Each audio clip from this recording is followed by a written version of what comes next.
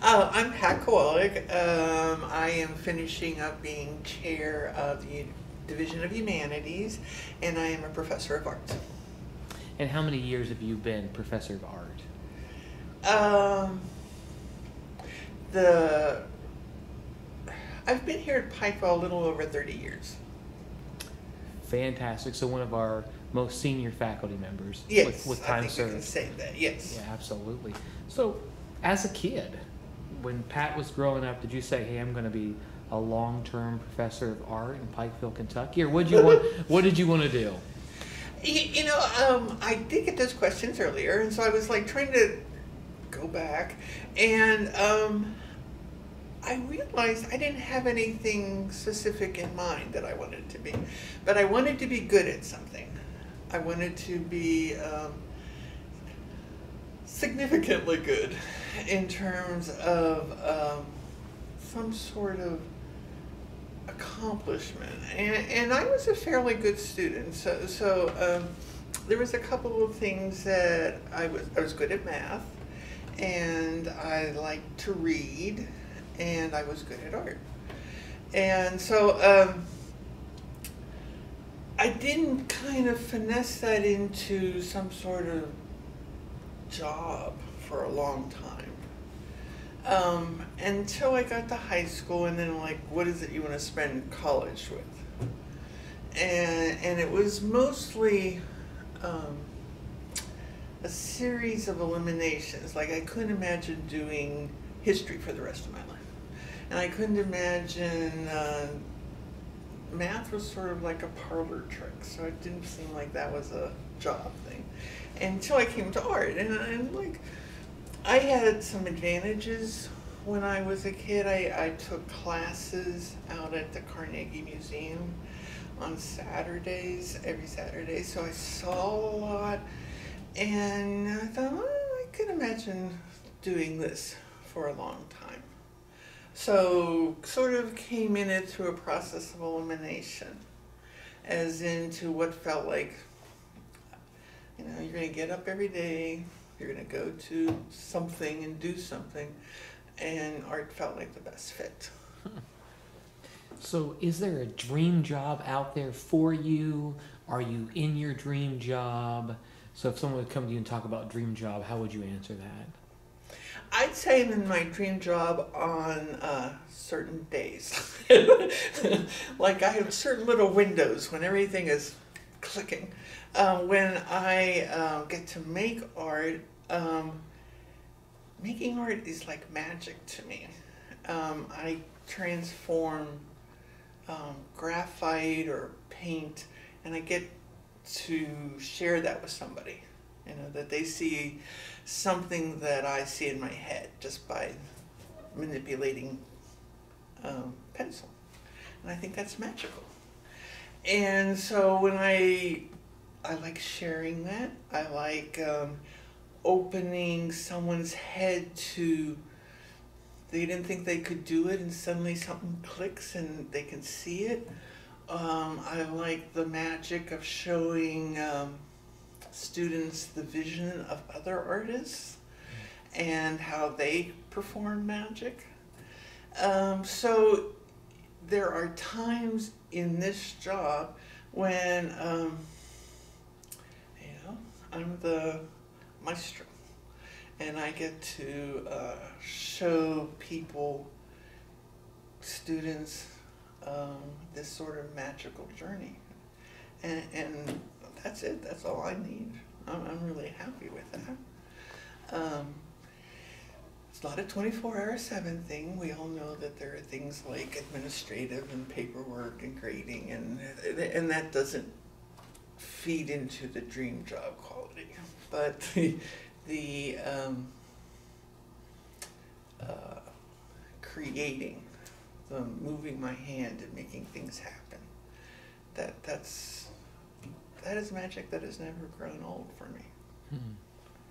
So, is there something that spurred you to the path that you're on now? Granted, you had an opportunity to take these, you know, Saturday classes, Yes. but was there something that really kind of spurred you towards this path? Um, there, I'm not sure that there was one specific thing. I had a lot of support. My parents were, you know, do what you need to do, sort of thing, and so, um, which I don't think is an automatic thing. The idea of going into art is a little scary. I mean, who's going to, how are you going to support yourself, your kids, and that kind of thing? So there's a leap of faith there. But my um, parents were also very uh, kind of supportive. Do what you need to do. I had a couple of teachers in college that um, treated me with a lot of respect and what I was doing. And that gave me a lot of confidence in terms of um, deciding to want to make art. Um, teaching eh, for me is very intuitive, um, so it becomes um, conversation one on one with somebody, and that becomes part of the exploration and the uh, generating of creativity. Um, it that first year was kind of a disaster because um, I didn't. you come to the uh, teaching room with, uh, you know, the classroom with, you know, all these ideas and and and some of the kids are kind of clueless, and so it takes a little um, time to sort of understand that language of communication. Um, but I, I, just think I was really lucky. I just had a lot of support along the way. And um, I know that I'm um, really pretty talented hand and eye coordination. I can pretty much draw what I see and and and so that opens a lot of doors because people are amazed and you know that kind of stuff. So I just had it was never really hard, you know. It it just sort of uh, flowed in terms of um, knowing I wanted to do art, and the the teaching part became sort of self evident eventually, but I didn't know that right away. Mm-hmm. So today, obviously, a lot of life experience. You've been doing this for a while, so this is your thing. But if I were to say, hey, you know, Pat's call in life is, how would you, in one sentence, how would you summarize that? Um, to translate or transmit or to um, encourage that sense of um, creativity in both myself and in other individuals. Mm. And um, I think it's important to test that every couple years, you know, sort of see is that really where you're at right now? And um, so there's a sense of like questioning everything, but there's this process in making jewelry where you can make silver stronger by pounding it. So it's like if um, if you pound your purpose in life every so often, it makes it stronger and it becomes clearer. And so I think that's good. So for you now, when you think about your call in your job, do you see them lining up pretty well? Yeah, generally. Um, I do. Um, administrative stuff can get in the way. Others. But it's, you know, it's sometimes that's the price you pay, you know, so you can do what you want. And uh, I have it well. Um, uh, the art area is um, has its strengths. Um, work well with other faculty. Um, so yeah, I'd say it, it is lined up fairly well. Hmm. So in your life, you mentioned parents who said, "Hey, do what you need to do." You mentioned some college professors who showed you respect. Has there been a, a, a person who's been most influential on this journey towards what you're doing?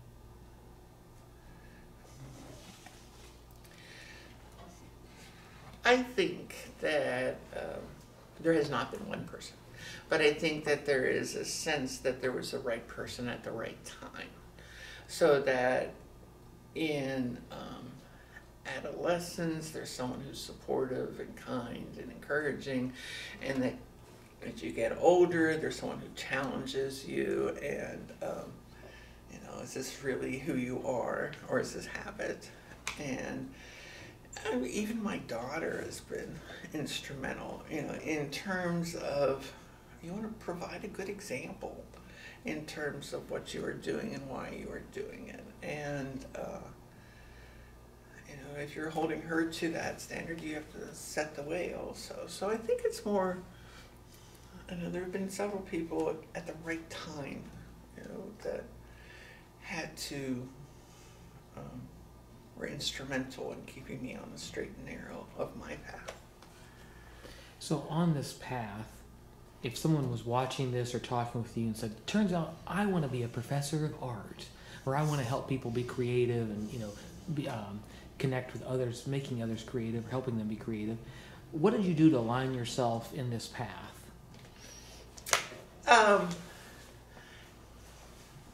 I majored in art, and um, I actually transferred in my junior year to another university uh, because one of my teachers at my first college um, felt that I needed a better school. So he, he kind of like, so I went to Iowa. And um, I worked in the art library, which was incredible too. So that gave me access to all kinds of books and all kinds of history and um, they had a large history department so it was easy to just go and sit in and see different thoughts and cultures and um, and there was museums. And i kind of tried to uh, afford myself of every opportunity to go just see things. And um, i kept sketchbooks um, and I journal and I just try to keep it very alive in my head what it was I was seeing and what I valued and what I think about.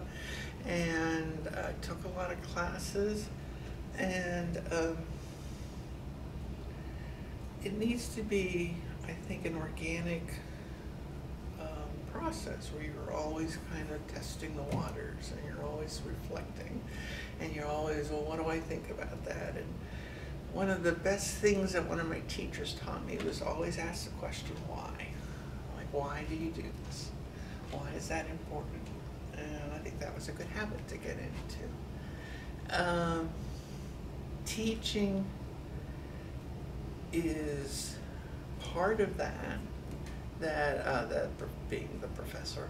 Um, and that came about, I think, like learning what your priorities are and what's important, but also listening, listening what other people it is that they want to learn and what values they have and being respectful of them. So I'm trying to sort of turn around what I got and share it that way.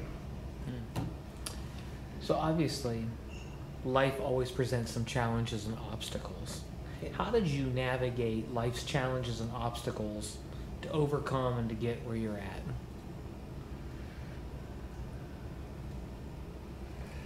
Um,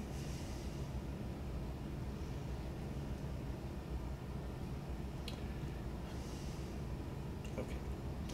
So, I've been very blessed. Okay, so that my obstacles have been um,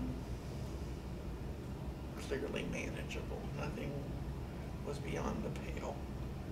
Um, but I think it's a matter of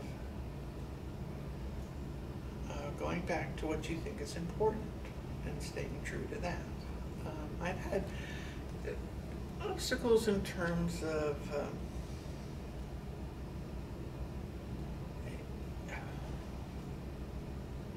relationships like in my family my sister got very ill she died fairly young. And um, so you there's a question of like really art against dying? You know what are your priorities and what's important? And um, but I think uh, again it's just going back to what it is that you value and what's important to you and using that as your guide stone for this is who you are and this is your strength. So now, with all of your years as a teacher, you've had all kinds of conversations with students coming to your office and saying, "How can I pass art appreciation to, right, the, the great existential questions of life?" So when a student comes in and says, "You know what? I don't really have any idea what I'm supposed to do," what advice would you give them about how to help them find their call? Um, I think that that's actually very positive and very um, exciting because that means that everything's a possibility rather than you can't find the one thing. So I would say um, try everything. Try everything and see what fits. Um, have conversations with yourself as to what is important. What is it that you need to be a happy person? If it's money, then that, that which is valid, then you know you go in a certain path. If it's just I need to um, uh, be content, then you go in a different pattern. Okay, what are the things that you value? Uh, try everything. Ask lots of questions. Be curious. Uh, now's the best time to do that because your responsibilities are probably a little more limited, and so you can go out on a limb. I think it's good to fail every so often because failing can be the best um, uh, teacher. You know, and failing is just learning how not to do something. it's not. It's not the end of the world. It's just learning how. Okay, so that wasn't the way to do it. You know, and I think read a lot, to people. Um, it's a pretty exciting world, and, I think. Uh, people getting locked in too quickly um, can miss out on some of that. So, even if you know what you want to do, I think it's important to also be open and experiment and try other things. Know, even if it's new food, new music,